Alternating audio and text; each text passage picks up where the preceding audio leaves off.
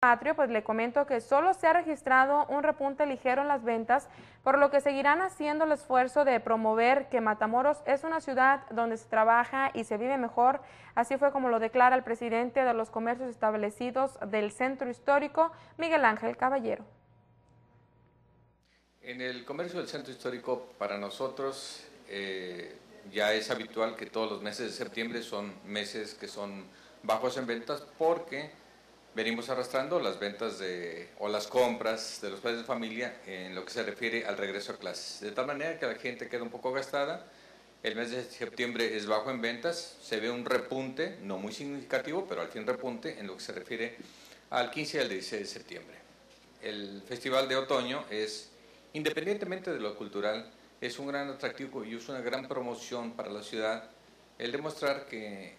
en la frontera se pueden realizar eventos muy importantes a nivel mundial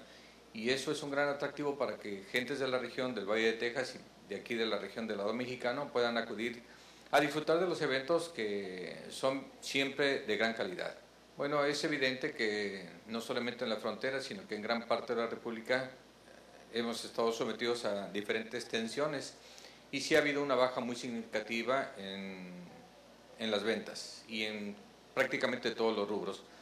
Sin embargo, tanto el gobierno municipal como la ciudadanía, el comercio, en general las cámaras de comercio, hacemos el gran esfuerzo para ser los verdaderos promotores hacia la región y hacia el exterior de que somos gente positiva, que somos gente trabajadora, que hay un comercio muy importante, que tenemos artículos de gran calidad y a muy bajo precio. Prueba de ello que aún y con todas las vicisitudes que hemos tenido, la gente del Valle de Texas viene a hacer sus compras al lado mexicano. Tal vez no en la misma ah, afluencia con que en el pasado se hacían, pero creo que lo más importante es de que no bajamos la guardia, que estamos en la lucha y demostrarles que en Matamoros